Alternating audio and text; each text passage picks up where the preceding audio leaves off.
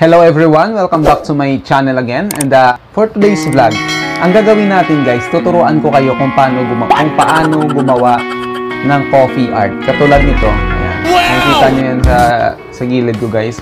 Yan ang gagawin natin ngayong araw. So, uh, ang material na gagamitin natin guys ay simpleng-simple lang.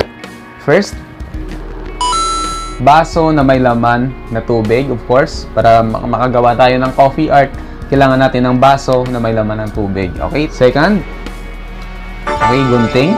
I'm sure na basta nasa bahay kayo guys, meron kayong gunting dyan. And then, band paper. Ayan. Ang band paper na to you guys, eh, gagamit tayo ng short band paper. Kasi ito ang magiging guide natin para makagawa tayo ng heart na na coffee art. Yan. So, ang gagawin nyo lang, ititik tiklopin nyo lang ng isang beses ang band paper na to. At dahil homemade lang to guys, so ang ga- gagamit lang tayo ng Milo at saka gatas. Ayan. Para mas makita nyo lang maigi. Okay? So, uh, first na gagawin natin ay, uh, di ba, natiklop natin ang band paper na to. Ayan. Gagawa tayo ng heart na, sta- na design. Katulad nito guys, susundan nyo lang. Heart na design. Ganito. Um,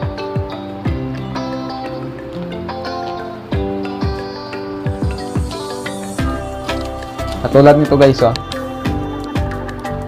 Yan, di ba heart yan? Yan, heart. And then, ito guys, itatabi natin to kasi hindi natin to kailangan. Ang kailangan natin talaga is, yan, ito. Kailangan guys, pag gumawa kayo guys, ang yung ah, yung kasya naman siya sa sa butas ng baso of course para yung saktong-sakto lang.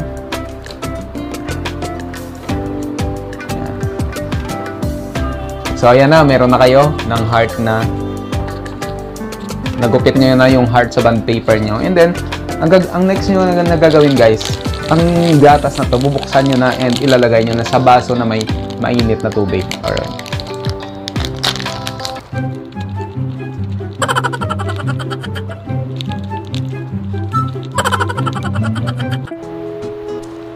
Okay, so, yun na. And then, so, di ba, nalagay nyo na yung gata sa baso. Ang gagawin nyo guys, uh, ititiklopin nyo to ang, ah, ang plastic ng gatas. Ayan.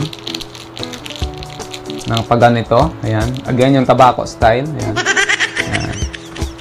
At, ah, pwede nyo tong gamitin para ma-mix nyo yung gatas. Ayan.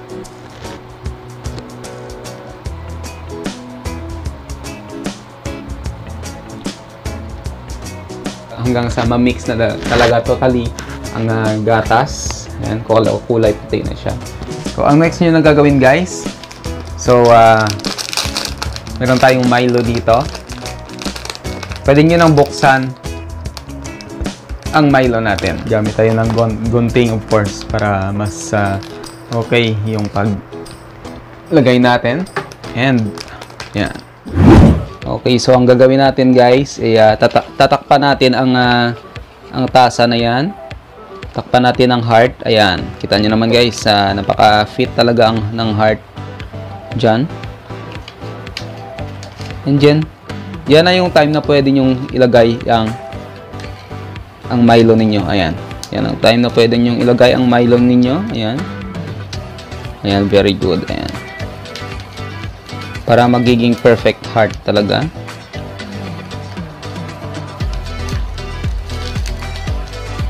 Yan, ubusin nyo ang Milo na yan. Yan, very good.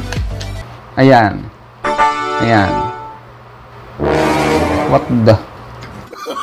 Oh, no, no, no.